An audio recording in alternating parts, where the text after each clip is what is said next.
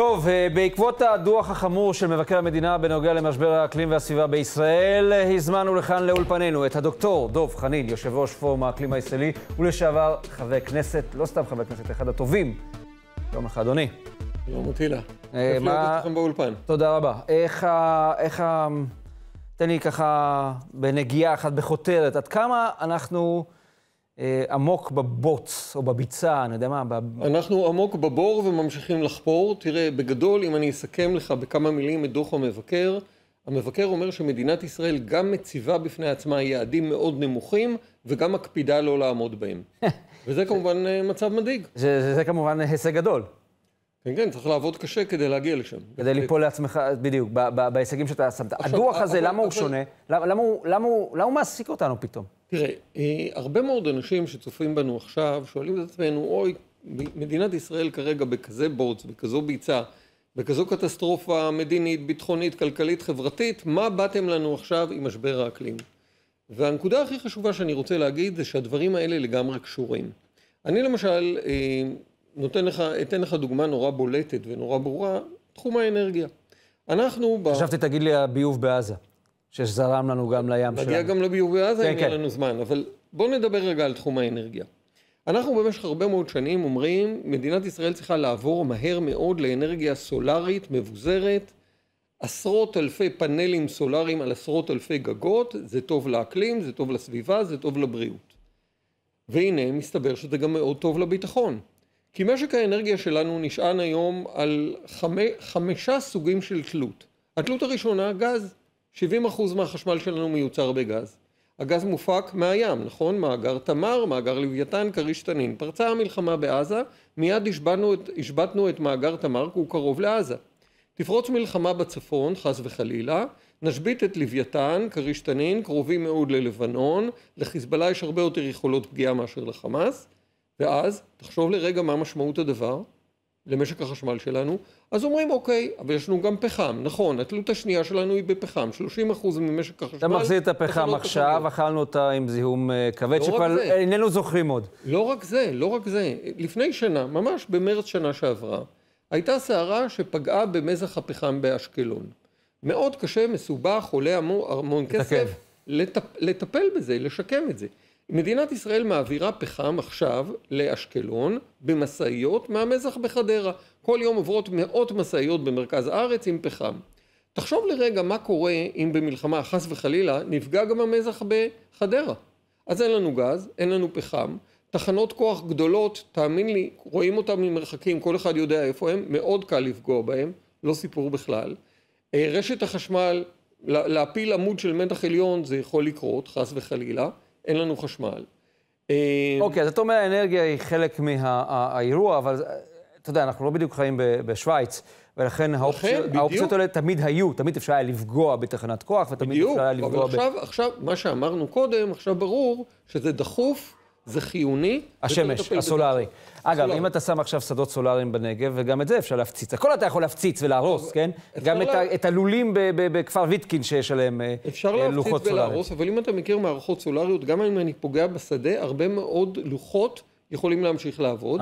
ואם אנחנו בונים אה, פאנלים סולריים על גגות, אז גם אם חס וחלילה אלפיים בתים נהרסים, שלושת אלפים בתים נהרסים, עדיין 200 אלף בתים ייצרו לנו חשמל. אוקיי, תראה מה כתבת אתה בעקבות הדוח הזה ב-19 במרץ. תמונה קשה של מחדל במדדים עצומים, עם השלכות ישירות על החוסן הלאומי. סיכונים חמורים לביטחון המזון שלנו, למשק האנרגיה, לתשתיות, לכלכלה ולחברה. הדוח הוא קריאת השכמה למקבלי ההחלטות. אל תעזו להגיד בעתיד, לא ידענו, ואיש לא אחז אותנו בדש מעילנו. זה פרפרזה על נתניהו בוועדה אה, של מירון.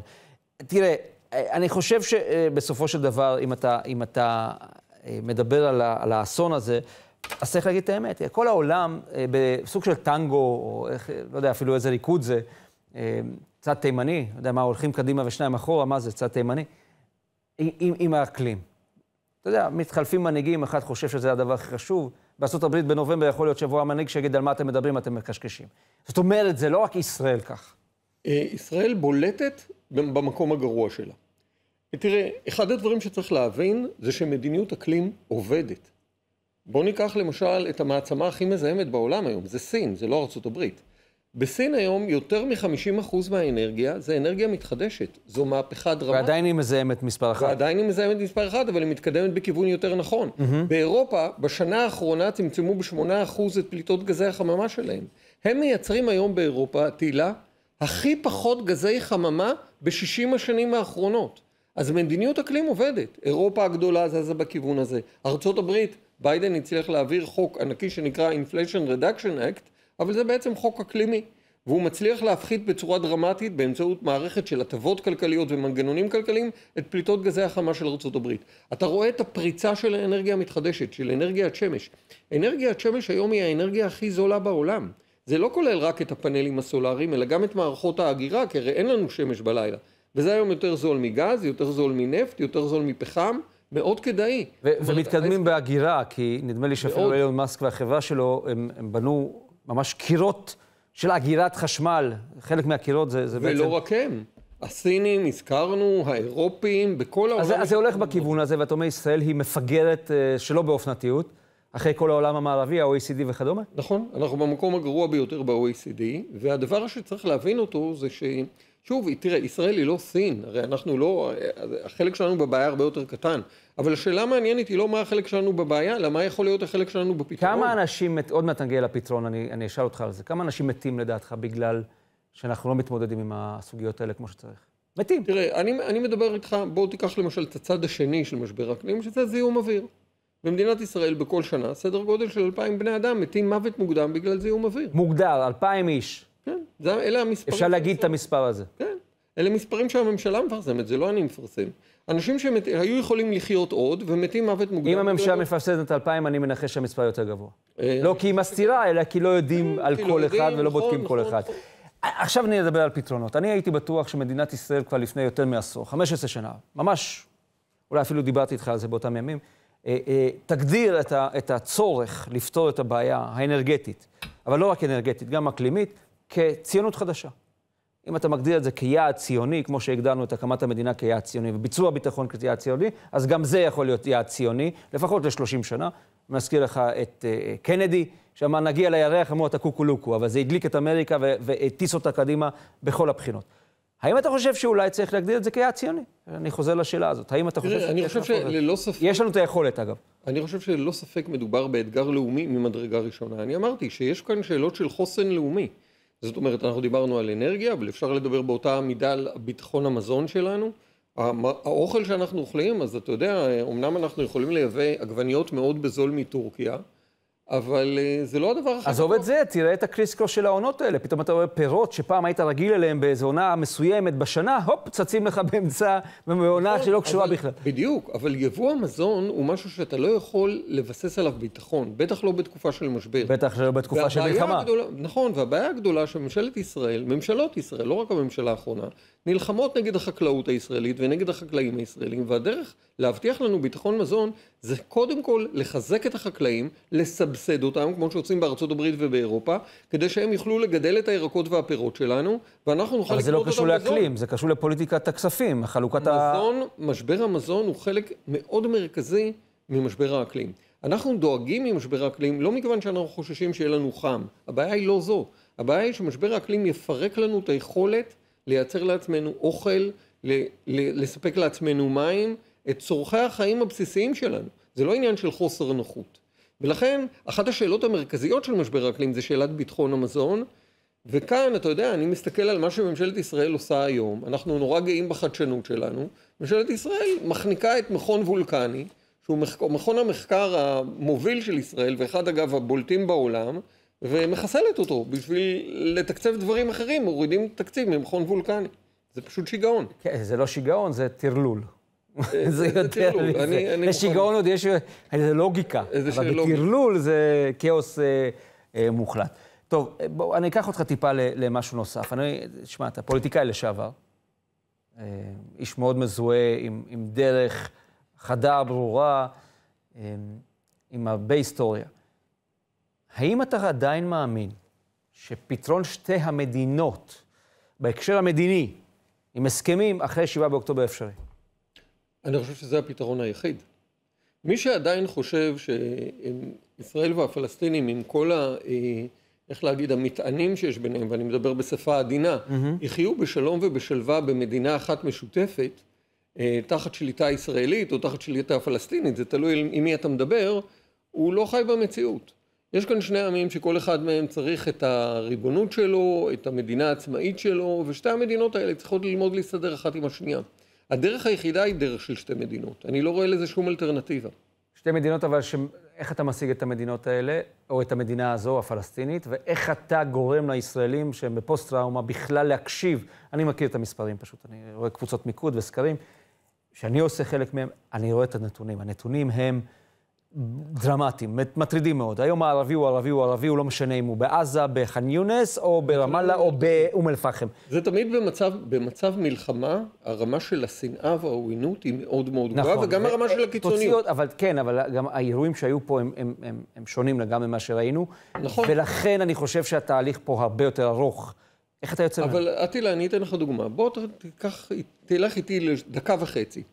אנחנו יושבים עכשיו לא באולפן הנעים שלך ומדברים, אנחנו נמצאים במרתף בפריז הכבושה על ידי הגרמנים 1944. אם היית אומר, כן, הבנתי מה אתה אומר. הייתי בא אליך ואומר לך, עוד עשר שנים לא יהיה גבול בין גרמניה וצרפת, הם יחיו בשלום, היית אומר, המרצה, האורח שהזמנתי, לא לקח את התרופות שלי, אתה, שלא היום. אתה, אתה, אתה, אתה קצת מקל על, ה, על השכנים שלנו, הייתי אומר. אני חושב שיש פה אלמנטים... אני חושב שמה שהגרמנים עשו באירופה הרבה יותר קשים. אתה חושב? ברור. אלמנטים של דתיות, של מלחמת דת שמתפתחת פה מתחת לאף שלנו. אגב, בעידוד גם הצד שלנו, בחלקו הקיצוני. מלחמת דת זה דבר מאוד מאוד מסוכן, אבל אני רוצה להזכיר לכולנו שהזוועות האלה, האיומות שהחמאס עשה ב-7 באוקטובר, זה לא כל ההיסטוריה של יחסים בין אסלאם ויהדות. היו תקופות שבהן דווקא הנצרות הייתה הגורם היותר מסוכן. תור הזהב היהודי בספרד הוא נכון, מוסלמי, תחת מוסלמי. והרמב"ם שיושב במצרים וכותב את ה... את ה נכון. נכון. מקבל את זה, ועדיין אנחנו בנקודת זמן אחרת, כי יש לך גם רשתות חברתיות שמהדהדות את השנאה ואת הקיטוב. ולכן אני שואל אותך, האם אתה, אתה בעצם חתמת גם על כל מיני עצומות, נדמה לי, במלחמה. האם אתה חושב שצריך להיכנס עכשיו דוך לתוך משא ומתן? האם אתה חושב שהפתרון שה, האמריקני לכפות איזשהו הסדר הוא-הוא הנכון? איך אתה רואה את ה... סדר לי את הפאזל רגע. אני, אני אגיד לך דבר נורא נורא פשוט. יש שתי דרכים. או שאנחנו מגיעים להסדר עם השכנים שלנו, או שאנחנו ממשיכים להילחם. ממשיכים להילחם, ישראל היא חזקה והיא תנצח, אבל ממלחמה למלחמה אנחנו רואים שזה נעשה יותר ויותר קשה, ולכן במלחמה הבאה ישראל תנצח, במלחמה אחרי הבאה ישראל תנצח, אבל אם לא נסתדר אחרי המלחמה ההיא וההיא וההיא וההיא, בסופו של דבר תגיע המלחמה שבה ישראל תפסיד, ואז לא נהיה כאן. ולכן, הדרך הפוליטית של נתניהו ושותפיו, הדרך של הימין, היא דרך שמובילה אותנו למצדה, ואני לא רוצה להגיע למצדה. אני רוצה להגיע ליבנה, אני רוצה להגיע למקום שבו לבנים שלי, לנכדים שלי, לילדים שלך, יהיה עתיד בארץ הזאת. דוקטור חנין, אתה איש שמאל. הגדרה מדויקת? לגמרי. כתבת מכתב לשמאלנים בעולם, תפסיקו עם האנטישמיות, תפסיקו להכחיש את 7 באוקטובר. מה קרה לשמאל העולמי? קודם כל... הפרוגרסיבי המטורלל בעיניי. אה, בוא נאמר, בשמאל העולמי יש הרבה מאוד קולות אחרים.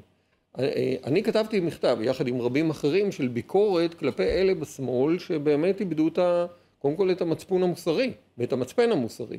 כי אני חושב שבהחלט אפשר לבקר את ישראל על הכיבוש הנמשך של השטחים הכבושים ועל כל הדברים הרעים שישראל עשתה, ההתנחלויות שאני מתנגד להם וכדומה, אבל מפה עד ועד להגיע להכחשת הזוועות שהחמאס עשה בשביעי באוקטובר, אני חושב שיש פער מאוד מאוד גדול. ולכן, יחד עם חברים וחברות בשמאל... עשית, אבל מה קרה לשמאל הזה? אבל... אנחנו רואים אותו באמריקה, את הפסיכופטים האלה שמסתובבים אבל... דגלי פלסטין, ושורפים את דגלי אמריקה וישראל, ו- אבל, ו- אבל... ומתקבצים להם ברחובות... אטילה, אני, אני רואה... מה אני, זה? אבל... מי אלה? קודם כל, יש כאלה, אבל יש בשמאל... מה ההבדל בינם מאוד... לבין הפשיסטים? אבל יש בשמאל הרבה מאוד קולות אחרים. אתה מסתכל על הסנאטור ברני סנדרס, שהוא המנהיג של השמאל האמריקאי, היום. אתה רואה את הכתיבה, הוא בהחלט מאוד ביקורתי על ישראל. אין לי ספק, מצד שני, אני רואה את עומר עמר, או איך שקוראים לה, את הגברת הזאת, ואחרים, שגוררים את המפלגה הדמוקרטית למקומות של החרמת ההצבעה בטראמפ במישיגן, אה, סליחה, בביידן במישיגן, כדי להעניש אותו על זה שהוא מסייע לישראל. זה... הקולות האלה, אתה יודע, הגישה הזאת שאומרת שאני כדי... אה, להעניש את, ה, את מישהו גרוע בעיניי, אני אתמוך במישהו שהוא הרבה יותר גרוע, זה קולות זה השמאל המתאבד. זה, no, דוקטור. חנין, זהו השמאל המתאבד זה שאתה לא- מכיר זה לא- ממני. כל זה השמאל שכל הזמן מוכן לירות לעצמו אבל- בראש כדי שמישהו יתעצבן מהשפריץ של. אבל זה מטומטם. יש כאלה, ואני מסכים איתך שזה בהחלט מטומטם, אבל בשמאל יש גם הרבה מאוד קולות אחרים, כולל בארצות הברית, אוקיי. כולל באירופה. אבל הם- אבל הם כרגע, הם לא שהם- הקולות הבולטים. הם לא הקולות לא, הבולטים. לדעתי הם הקולות אתה הבולטים. קודם כל, אתה מסכים- לדעתי הם הקולות אתה מסכים הבולטים. איתם- מסכים איתי שיש דבר כזה שמאל מתאבד?